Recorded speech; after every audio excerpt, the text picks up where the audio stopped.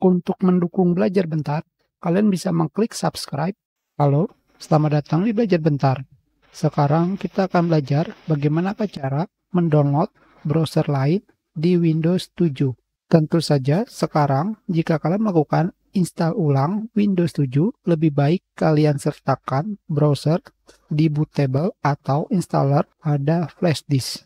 Karena katanya Internet Explorer pada Windows 7 sudah tidak bisa digunakan untuk mengakses internet atau surfing atau browsing. Tentu saja karena saya sendiri sudah lama tidak menggunakan Internet Explorer, kita akan mencobanya terlebih dahulu. Kita buka Internet Explorer. Kita langsung pergi ke google.com di sini kalian masih bisa mengakses Google. Kita cari download Chrome.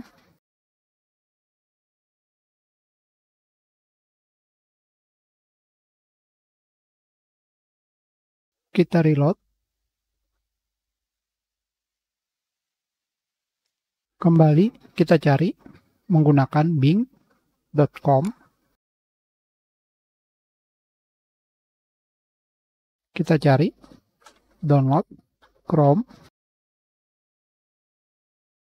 Sekarang di sini kita menggunakan mesin pencari Bing. Selanjutnya di sini kalian akan menemukan kalian bisa mendownload Microsoft Edge. Tentu saja untuk sementara kita akan pergi ke website Google Chrome. Selanjutnya kalian pilih download Chrome. Kalian pilih save atau simpan. Seperti ini saja, kalian pilih run. Yes.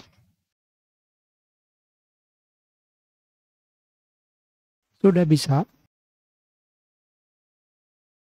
Sekarang kita sudah bisa menggunakan browser Google Chrome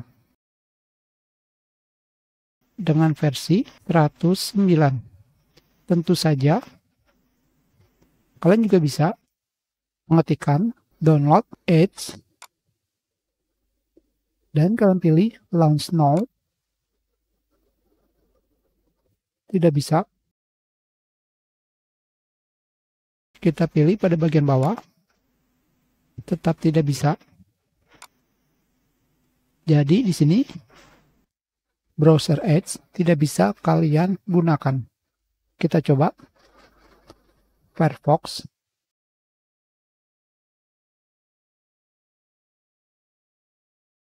sangat lama. Kita coba di sini. Selanjutnya di sini kalian pilih download. Selanjutnya pada bagian bawah kalian akan menemukan download kalian terputus, tapi semuanya tidak hilang. Di sini terdapat keterangan sistem komputer kalian tidak memenuhi standar untuk aplikasi Firefox. Jadi, kalian bisa mencoba pada bagian versi yang ini. Di sini, kalian bisa mencoba versi Firefox Extended.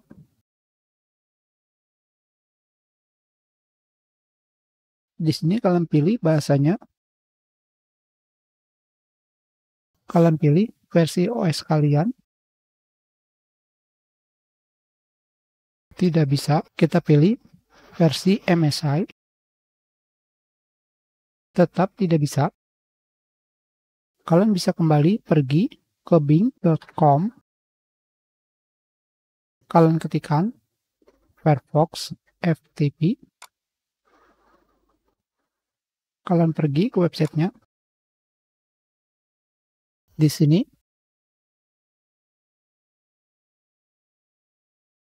kalian bisa menggunakan versi 100 misalkan atau versi ESR terserah kalian. Kalian pilih Win64 untuk 64 bit Win32 untuk 32 bit. Pilih bahasanya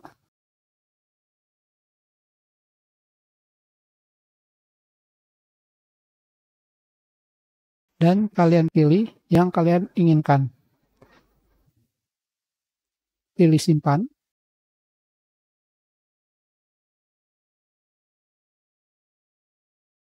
Pilihkan.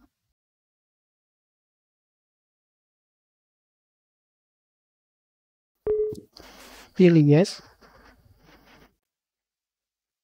Dan ikuti langkah instalasi.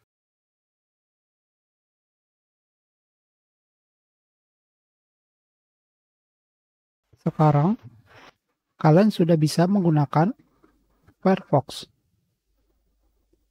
Sekarang, bagaimanakah jika kalian ingin menggunakan browser Opera? Kembali, kita pergi ke bing.com, Opera, download.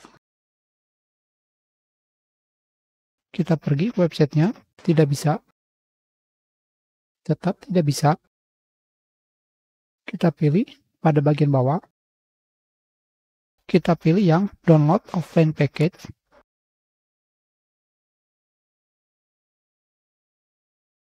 Tetap tidak bisa.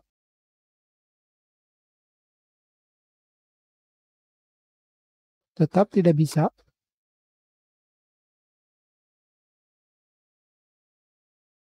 Jadi di sini kita tidak bisa mendownload browser Opera.